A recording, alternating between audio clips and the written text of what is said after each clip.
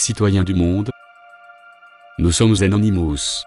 Depuis que nous vous avons invité à informer nos concitoyens en matière de vie privée, vous avez fait plusieurs fois fait résonner la voix de Big Brother dans de nombreux pays et organisé des distributions de tracts efficaces pour informer le peuple des menaces des systèmes de surveillance sur nos droits fondamentaux. Nous savons que la participation de chacun d'entre vous a permis de transmettre le message. Nous vous remercions pour votre travail acharné dans la préparation de ces journées d'action. Vous avez prouvé que la plupart des gens n'ont pas connaissance de la société de surveillance qui se dessine avec des projets comme une Deck to Trackwire parce que les médias restent silencieux sur ces questions.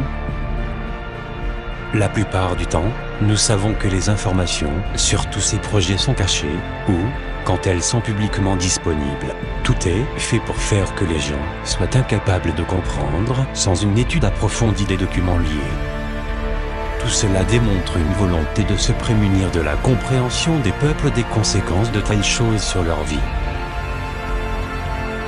Nous, Anonymous, avons engagé au Big Brother parce que nous voulons que chaque citoyen de la planète sache que l'état de surveillance n'est pas nécessaire à notre sécurité en tant que citoyen. Nous voudrions aussi faire comprendre au peuple que la systématisation de surveillance technologique et le contrôle de tout est dangereux pour la sécurité des droits de l'homme. Nous continuons de croire que la technologie doit servir l'humanité et nous espérons que nombre d'entre vous seront d'accord.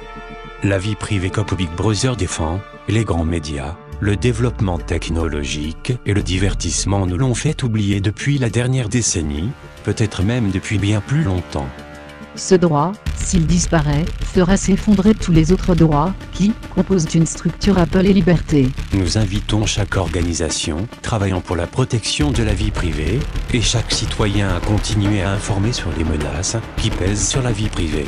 Les gouvernements feignent de concevoir ces systèmes pour des raisons de sécurité, mais toute personne capable d'avoir accès aux informations sur le sujet et les comprendre se lèvera contre une société de contrôle global sur les citoyens qui se dessinent.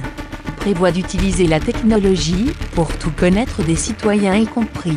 Qui est qui Qui fait quoi Avec qui Aussi bien dans la vie réelle que sur Internet. Certains gouvernements et sociétés privées étaient prêts à contrôler les peuples sous couvert de la renégociation du traité réglementant Internet.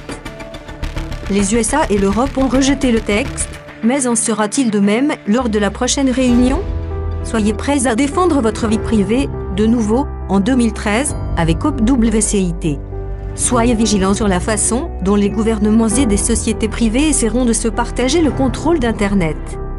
Il est temps d'agir, temps de montrer au gouvernement du monde qui nous sommes, temps de montrer que l'humanité peut s'unir. Il est temps de montrer ce que le mot liberté signifie. Nous vous appelons à vous préparer pour la prochaine journée de protestation mondiale contre la surveillance. Agissez maintenant et passez le mot dans votre langue natale. Entrez vos pays et villes sur le lien du pas disponible dans la description de cette vidéo si vous êtes en mesure d'organiser quelque chose. C'est notre liberté et notre vie privée qui sont en jeu. Résistons et construisons ensemble, car nous sommes les enfants de la résistance. Unissons l'humanité comme un seul homme. Faisons de ce mouvement le plus important de notre histoire. Unis, nous restons debout. Divisés, nous tombons. Nous sommes Anonymous. Nous sommes légion. Nous ne pardonnons pas. Nous n'oublions pas. Comptez sur nous.